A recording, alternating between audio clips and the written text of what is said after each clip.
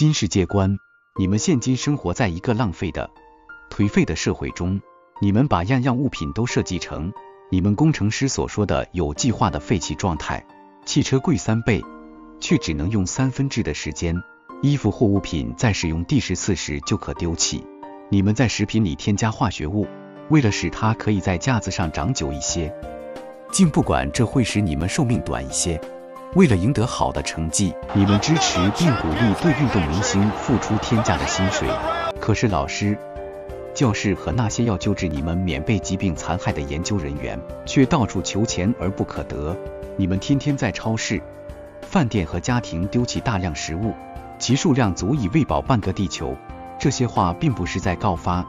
而只是观察。这种让人痛心的态度，像瘟疫一样横扫全球。然而，似乎没有一个人有权利来改变这些情况。事实上，权力不是问题所在。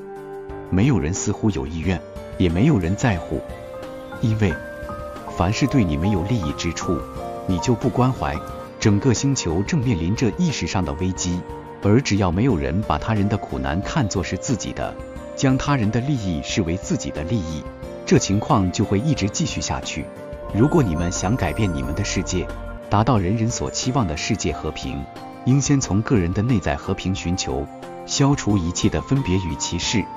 提升爱的集体意识，建立一个新的世界观，将所有的人类视为你的家人，不再分别彼此。全世界一百六十个国家结合为一个世界联邦，全世界所有人共同分享全部的财富与资源，使得没有一个人想要别人所拥有的，而人人都生活于尊严中。远离恐惧，爱，往至神的话语篇，与神对话丛书摘录。